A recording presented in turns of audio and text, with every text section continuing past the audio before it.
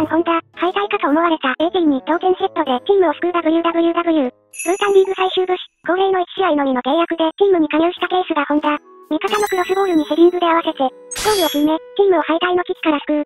熱狂になればなるほど結果を出す男。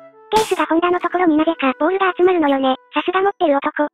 技術やスピードは衰えるが、勝負強さとメンタリティは一生物。世界10カ国のトップリーグで得点を決めた男。10カ国どこで決めたか本人が思い出せないの好き。プータン、ホンダとルートン、橋を買って謎に芸人集するの草。今の代表のワントップとして彼を招集するべきだ。マイアミ移籍してメッシと共闘してほしい。ホンダって J リーグだともうきついのかな。このクラブとの1試合だけの契約って今回で2回目なんだけど、毎回結果しか残さないのえぐいぜ。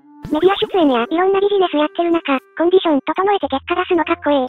引退したと思ってたけど現役バリバリだったのか。そもそも、ブータンでサッカーしようという考えになるのがすごい。黄色いユニ着てるとオランダ時代思い出す。しれっと PK と合わせて2得点してるの草。おいち、縦パス入るよ。でかい試合だけ契約ってなんやねん。